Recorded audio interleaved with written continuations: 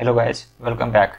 In this video we are going to look at into mongoose queries which is basically used to provide a several static helper function for CRUD operation like create remove update and delete. Each of these functions return a mongoose query object. So there are several types of functions available here like uh, delete many delete one find find by id find by id and delete find by id and remove find one update many replace one find one and remove find one and replace and many more. So basically mongoose query can be executed one or two ways. Basically it, it, it can be executed in two ways. One by using callback function as we have discussed earlier and one another method is by using then function. So callback functions uh, actually uh, execute asynchronously. And after execution of the query it passes result to the callback function. So it it uh, it have uh, two parameters. First one is error and second one is data. So we have discussed it earlier. So we are going to discuss five points in this video like how to execute queries queries are not promises a reference to the other document which is basically uh, uh, populations as we have seen earlier data streaming and aggregation. So now let's get started. So here I have the older code as we have discussed in the previous video. So I'm going to remove unused code so I'm not going to use a student address here. We are not going to use bcrypt delete this one as well. Delete delete this one. I think delete rest of the part. Except a student model. So what we are going to do in this video is we are going to create some student related fields like name of the student then age of the student. I'm just going to take parameter as a string. It can be number or anything. Then a standard.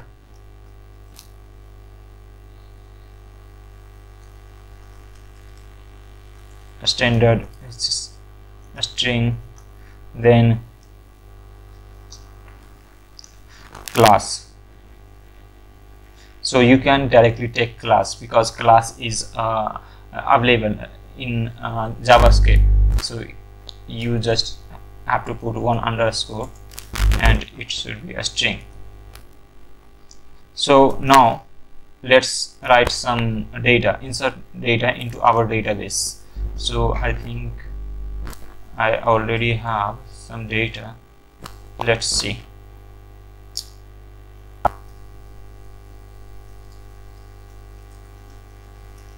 so I already have three to four uh, results. So let's first remove this.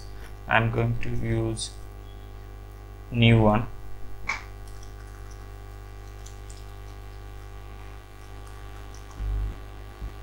So let's remove this result. Now I already have created some of the results here. Copy this and paste it here now insert this. So here I have created just uh, uh, array of students. So first student have name as a is 18 student 12 8.9 grade and uh, rest are the same like name is a standard and grade. So actually not this one. Take it as grade so now insert this into our database. So to do that just write a student dot insert many because we are going to store many uh, object to our database and passed object name and it will take two parameter function error and result. Okay? It will take it will execute it asynchronously and pass the result to the this callback function which in it has some error. Then throw that error. Else console log result. So basically you just have to write it after creation of the model. So now let's execute this code. So now zoom a bit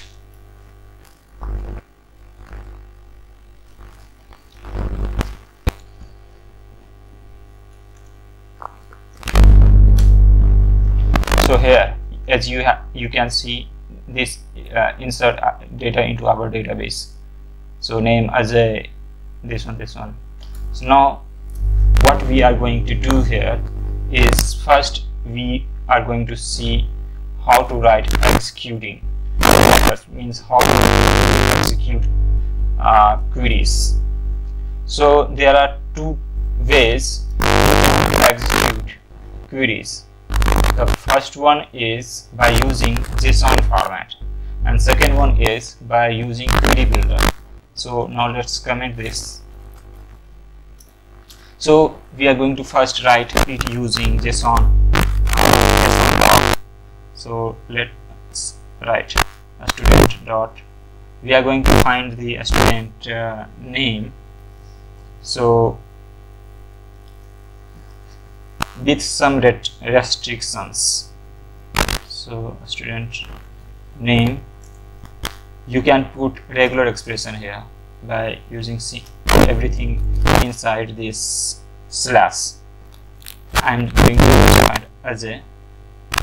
So if you write this so as you can see here this is as a with a small a and here I'm just writing capital A so it won't find anything. To avoid case sensitive we just write I. It means that it will ignore case sensitive then is is in between like uh, greater than 17 and less than 23 and then limit it with result up to then sort it via sort it via name. Then select what you want to uh, select as the final output.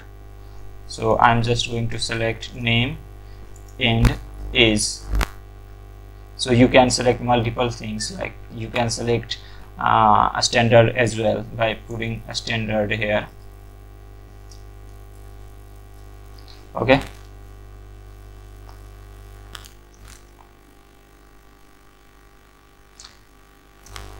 Now execute. So it will take two parameter function error and result. So if it has error then throw as we are doing so many times and uh, console log result. So let's see what output we are getting. So here you can see it just selected I uh, name and age and ID by default so if you want to select multiple uh, one more field like a standard then you just have to put a standard and colon 1 so this is called here this is called uh, json doc. But uh, we are just selecting um, document using json doc. So now select it via query builder. So now comment this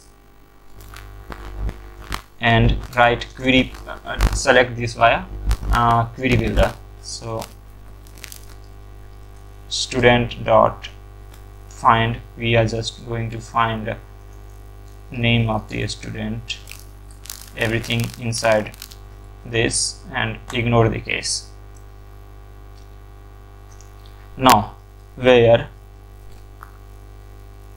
we are just going to limit on the age which is greater than greater than 17 and less than 23 so as you can see here we have just written in this format like is greater than 17 and less than uh, 23 so you can write via the, this one uh, in the query builder we, you can write via where command like if you put where functions so it will select uh, so this this uh, in MySQL you just have written like uh, select a star from some document like doc where some condition. So you can write this type of a structure in NoSQL also by putting where function and limit it uh, whatever you want then limit to then uh, sort as we have seen. So then sort. So if you want to sort by a name in ascending order so just you have to put name. If you want to put in it in descending order so uh, to do that you just have to put minus means hyphen sign before the name. So i'm just going to consider uh, descending order here. And now select what you want to uh, as a final output. So i'm going to select name and age. So here you can see give uh, extra space. Then execute. Function error and doc. So if it has an error then throw that error otherwise console log.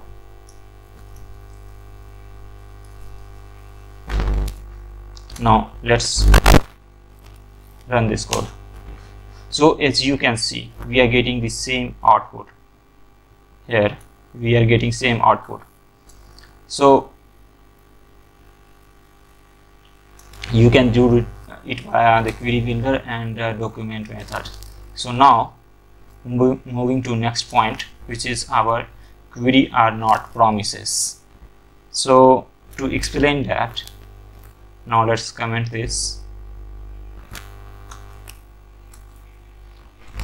Query are not promises. So to explain this uh, uh, we can uh, we are going to write it uh, in the then then method. So if you want to write suppose you are getting a student uh, and a student schema. Like if you write update many and something and then is deleted to true and some function and console log something update one. And you are storing it into one function uh, one variable like query. And if you put q then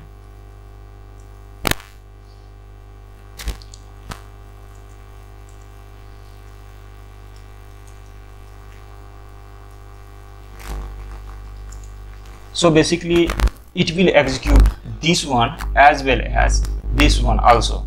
So here what we are doing is we are just writing update many in the uh, callback function by using callback function. And we are just uh, executing it via then method also. So it will execute both this one as well as this one. Okay? So uh, we uh, means uh, we just have to avoid this. Means it is basically returning a promises and we are just going to uh, uh, do that operation many times. So we just have to avoid it. Next point is references to other document.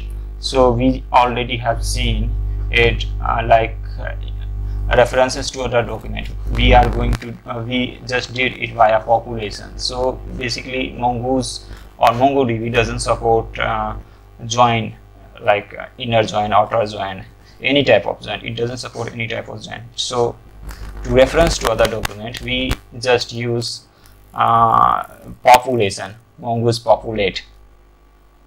Now next point is a streaming. So data streaming like let's comment this out and write population. So we are just going to do it via mongoose cursor. So write a cursor. A student dot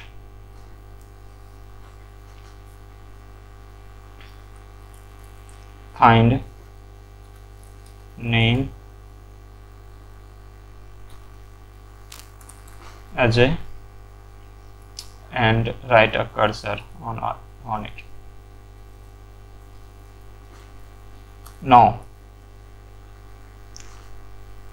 for let doc equal to await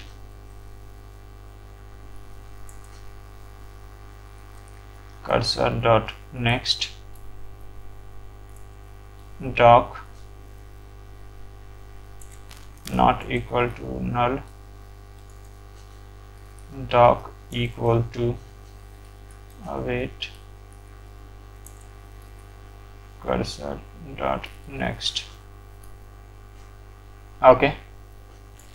So here we are just getting this one so remove this. I don't think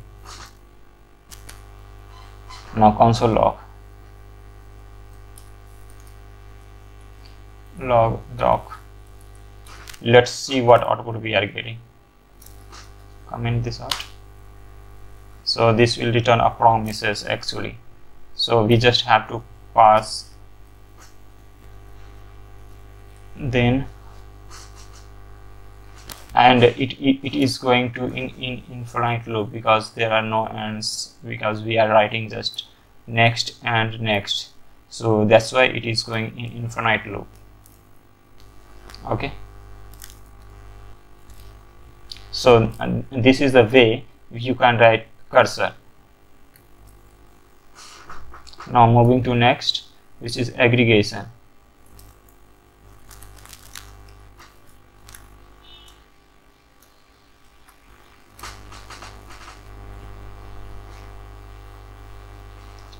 so just write a stud equal to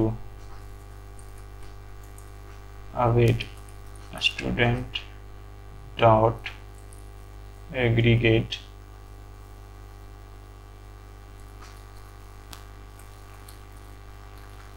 maths name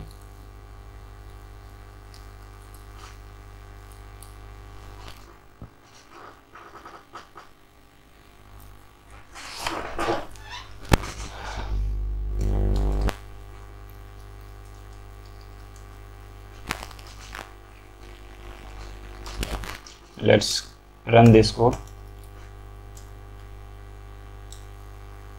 So we are just getting a model of maths and something something. So so uh, let's know the definition of aggregation. Aggregation can do, can do many operation of the same things that query can like uh, it can match with something like name. So that's it for this video. See you in the next